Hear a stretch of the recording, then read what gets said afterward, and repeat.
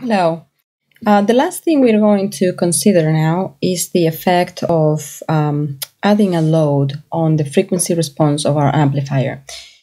And uh, we have again our common emitter amplifier. We have assumed a load resistor, but we have assumed that it was um, large enough that it, it didn't load our circuit. Um, so it was 100 mega ohms, um, which was much greater than the output resistance of the amplifier, which was equal to RC approximately or 20 kilo ohms. Uh, let's see what happens if I add a load resistor that is comparable to RC, thus loading the circuit. I'm going to go ahead and modify my RL and oops, I'm going to make it equal to um, just to clearly see the effect, I'm going to make it equal to the collector resistor or 20 kilo ohms.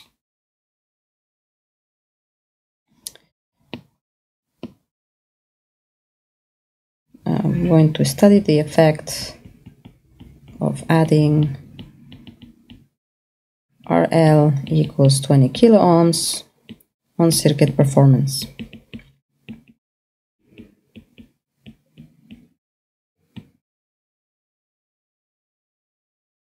Uh, first of all, notice that the first thing that's going to be affected is the midband gain of my amplifier.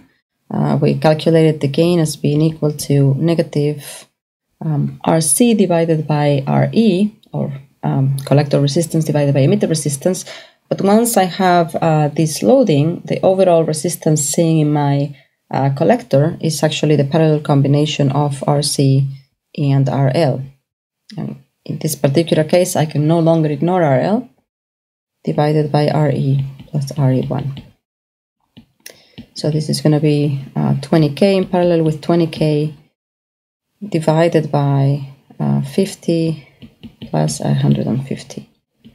So negative 10k divided by 200 or negative 50. So I've basically um, uh, changed the gain of my amplifier by half. The magnitude of the gate is 50 or uh, 34 dBs. All right, uh, my input resistance is going to be unaffected by the change.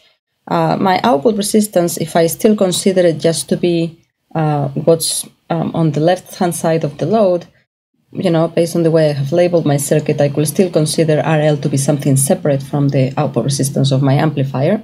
So I'm not going to recalculate that. Uh, but things that are going to be affected are some of the frequency um, response that we've calculated. So in the case of the lower cutoff frequency, um, we can see that the lower cutoff frequency due to CC2 is going to be affected by this change because we have just changed the Thevenin resistance seen across the terminals of CC2. So let's recalculate that. Um, FL due to CC2 was equal to 1 over 2 pi R Thevenin seen across the terminals of CC2 times CC2 and this was 1 over 2 pi RC plus RL times CC2 or 1 over 2 pi 20k plus 20k uh, times 1 micro. And that gives me 3.97 hertz. So we can see that it's um, is uh, changed a little bit with respect to um, the prior case where we had calculated it to be um, lower than this, but in any case, it is still not dominant, uh, meaning this the uh, CBE capacitor, the bypass capacitor, still dominates uh, the low cutoff frequency because the low cutoff frequency due to CBE was 83.7, which is still much larger than uh, than the new FCC2. So no changes in my lower cutoff frequency.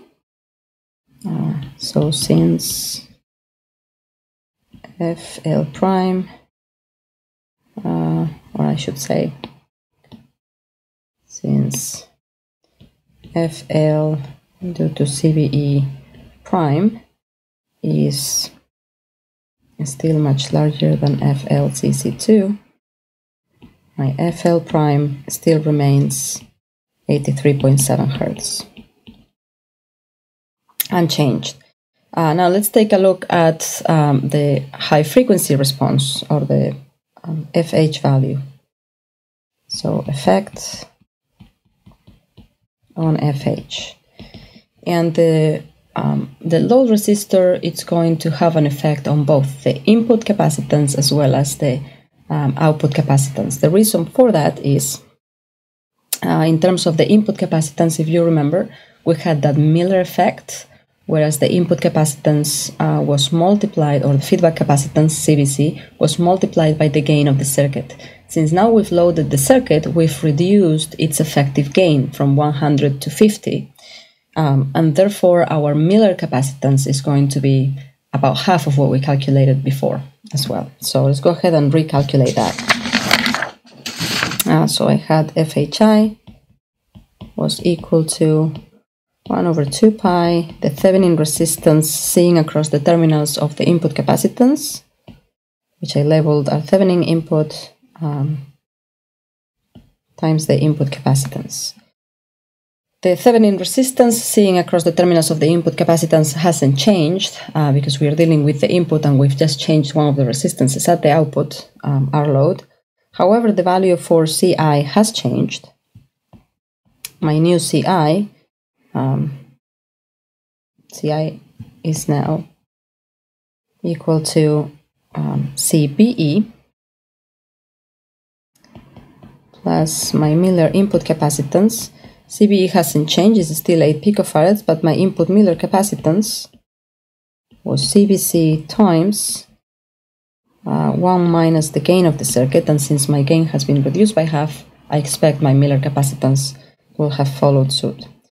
Uh, so CBE was 8 picofarads plus, uh, 4 picofarads times 51, which is around 208 picofarads.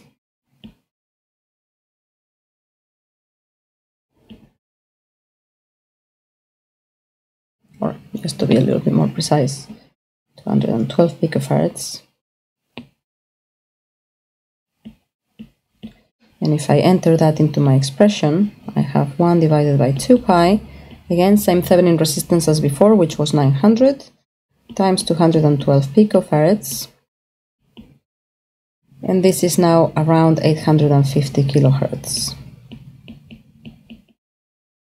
So basically, I've increased the bandwidth of my amplifier, uh, which seems reasonable. What was limiting that bandwidth um, was the fact that I had a large gain and therefore a high Miller capacitance.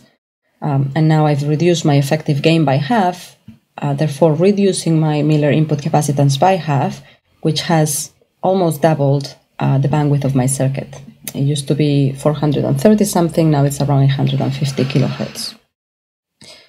Uh, let's look and see what possible effects this uh, change in load had on the output, um, the the high the high cutoff frequency due to the output capacitance FHO.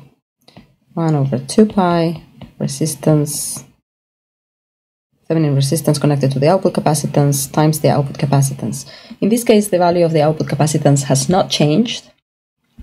Um, it remains CBC, uh.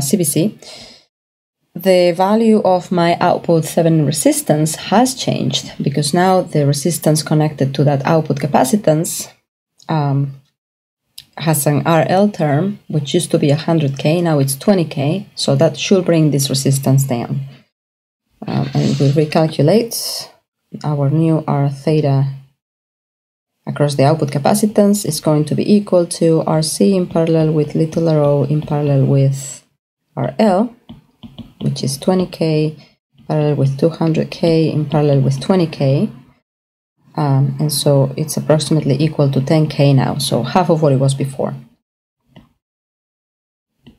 I enter this into my expression, 10k times, and my output resistance was still equal to 8 picofarads, or excuse me, 4 picofarads.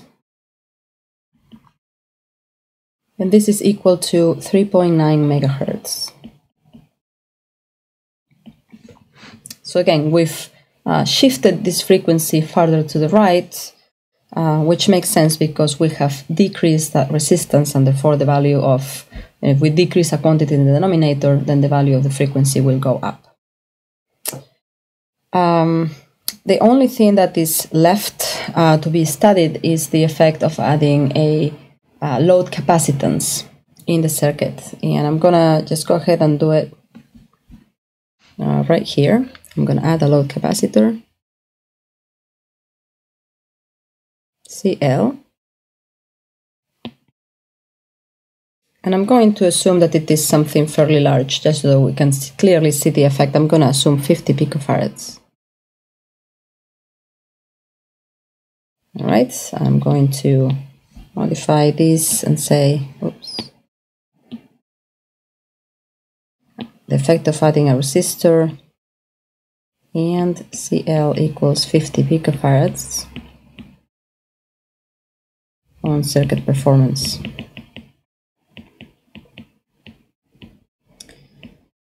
Now, all these other calculations will remain the same, meaning the load capacitance is not going to alter the gain of the circuit, because for purposes of the gain, we are assuming that capacitance to be an open circuit.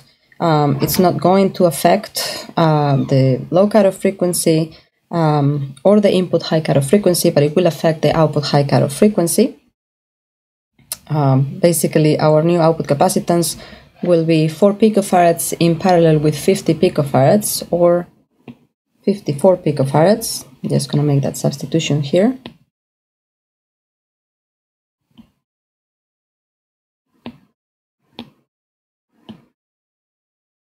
And our new, you know, write down that expression. Our C out now is going to be um, CBC plus CL or pico plus 50 pico or 54 picofarads our new cutoff frequency is now 295 kilohertz.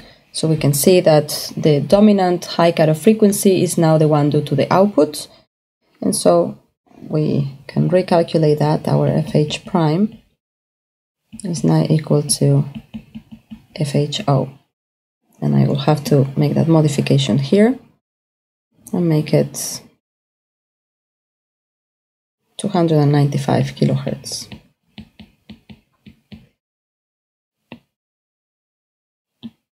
And that concludes our study of uh, making some circuit modifications on the frequency response. Thank you.